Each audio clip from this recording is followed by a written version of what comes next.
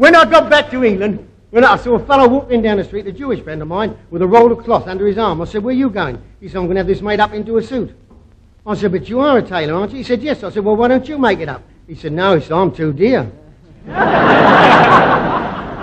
so he went to the tailor and he said to the tailor, I want you to make this up into a suit. He said, well, I don't want any fancy prices, none of that 40 and 50 pound like.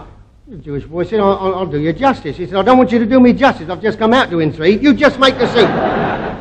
So he made the suit. He called for it about three weeks after. He put it on and the sleeves came right down there, about six inches too long. The trousers about a foot too long. And he said to the tailor, he said, does it suit me? He said, suit you. It suits you down to the ground. Don't have it altered. He said, I shan't touch it. If you say it's right, it's right. He said, it is right.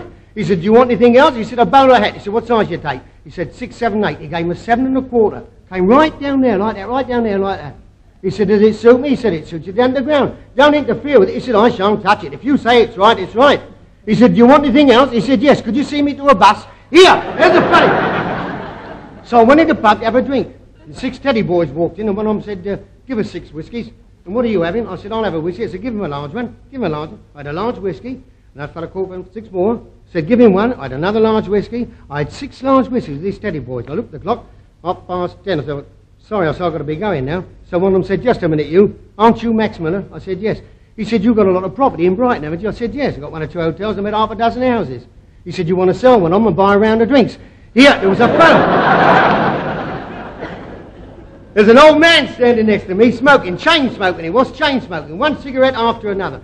I said, how many cigarettes do you smoke a day? He said, 100. I said, how old are you? He said, I'm 80. I said, you want to get on commercial television? You'll make a fortune.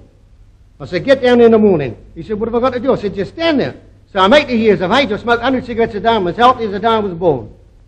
He said, I, I don't want to go. I said, look, get down there about 9 o'clock, down the office. Tell him I sent you. He said, I couldn't be there at 9. I said, well, 10. He said, I couldn't get there at 10. I said, well, don't be later than 11 because they'll all be gone. He said, I couldn't even get there at 11. I said, why not? He said, don't stop coughing till 12. There's a little mouse, a little mouse walking along the pavement on Piccadilly there, and, and a woman frightened it, and he stepped off the curb and got knocked down by a bus. Picked himself up, went across the road, went into a music shop. Said the man behind the counter, do you sell mouse organs? and the man said, that's funny. That's funny you should say that. We had a little mouse in here yesterday, and she wanted mouse organs. The little mouse said, I know who that was. That was harmonica.